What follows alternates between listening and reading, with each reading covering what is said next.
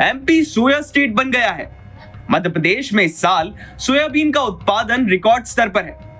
लिहाजा सोयाबीन किसान मांग कर रहे हैं कि उनकी फ़सल कम से कम छह हज़ार रुपए प्रति क्विंटल की दर पर सरकार खरीदारी करे। लेकिन मोहन कैबिनेट की बैठक में सोयाबीन की एमएसपी को लेकर जो फैसला हुआ, वो काफ़ी कम है। मोहन कैबिनेट के फैसले की जानकारी देते हुए राज्य के कैबिनेट मंत्री कैलाश विजयवर्गीय ने बताया कि एमपी सरकार ने केंद्र से मांग की है कि राज्य के किसानों की सोयाबीन अड़तालीस सौ रूपए प्रति क्विंटल की दर से खरीदा जाए। मुख्यमंत्री जी ने एक बहुत अच्छा कैबिनेट में निर्णय लिया है। माननीय मुख्यमंत्री जी ने प्रस्ताव रखा कि हम भारत शासन को सोयाबीन के लिए उसकी एमएसपी बढ़ाना, उसके लिए आग्रह करेंगे और वह चार हज़ार आठ सौ रुपये उसकी एमएसपी हो, क्योंकि अभी मार्केट में रेट चार हज़ार का है।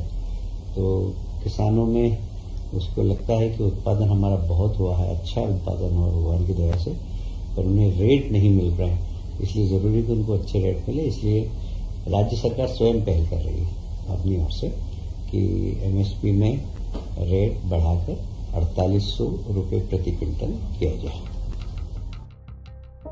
हालाँकि मंगलवार को सुबह सोयाबीन के समर्थन मूल्य को लेकर देश के कृषि मंत्री शिवराज सिंह चौहान का बड़ा बयान आया। शिवराज सिंह चौहान की माने तो केंद्र सरकार ने सोयाबीन का समर्थन मूल्य चार हज़ार नौ सौ चौरानवे रूपए तय किया है। किसान हितैषी प्रधानमंत्री है।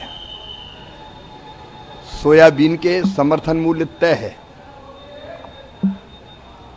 और वो है चार हज़ार नौ सौ चौरानवे रुपया कुंटल एक, और हमारी प्रतिबद्धता है कि हम मिनिमम सपोर्ट प्राइस पर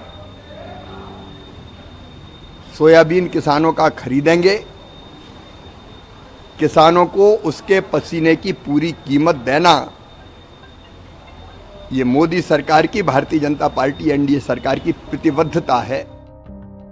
फ़िलहाल अब मोहन कैबिनेट का यह फैसला कांग्रेस के निशाने पर है। कांग्रेस सवाल कर रही है कि सोयाबीन की एमएसपी केंद्र सरकार ने चार हज़ार नौ सौ चौरानवे रूपए तय की है, लेकिन राज्य की सरकार अड़तालीस सौ रूपए प्रति क्विंटल करने का केंद्र सरकार से आग्रह कर रही है, जबकि किसान कम से कम छह हज़ार रूपए प्रति क्विंटल की मांग कर रहे हैं।